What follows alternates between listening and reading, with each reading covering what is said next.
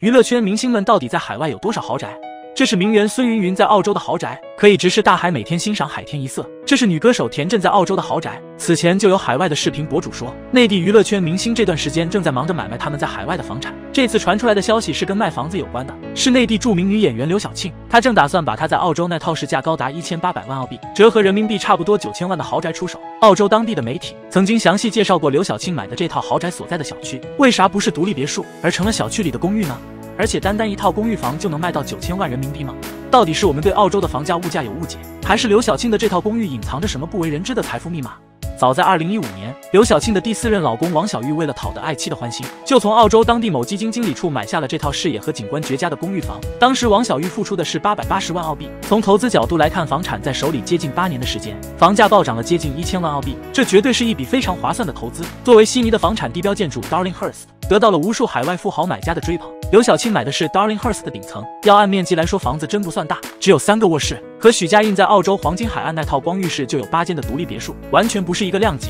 都说刘晓庆和富商王小玉是最不像夫妻的夫妻，可人家两个人却幸福的把日子过得比蜜甜。王小玉已经是刘晓庆的第四任丈夫了，他对刘晓庆有多痴情呢？这个出生于一九四二年的安徽男人，早年就是刘晓庆的粉丝，在事业上奋斗成国内有名的家具大亨后，他也就成了围绕在刘晓庆身边的一个贴心的男闺蜜。多年来，他看着刘晓庆在感情的世界里颠簸，十分心疼。在他看来，自己才是世界上最懂刘晓庆、最适合跟刘晓庆结婚的男人。终于人至古稀之年，他拉起刘晓庆的手求婚了。婚礼是在美国旧金山举行的，隆重穿上婚纱那一天，刘晓庆已经六十岁了。花甲女子嫁给了古稀富豪，还得到了富豪一众儿女们的集体祝福。王小玉最不缺的就是钱，她把对刘晓庆的爱真实落实在了看得见的财富上。比如，她一口气送了刘晓庆两套价值上亿的豪宅。除了澳洲这套，在香港，王小玉也给刘晓庆置办了一个温暖的家。被问到自己的婚姻保鲜的秘诀，刘晓庆说：“不在乎和惦记男人的钱反而最好。闲来夫妻俩就爱在豪宅里宴请刘晓庆的各路好友。每一回只要有时间，王小玉就会陪在老婆身边，当着所有朋友的面表达他对刘晓庆的爱意。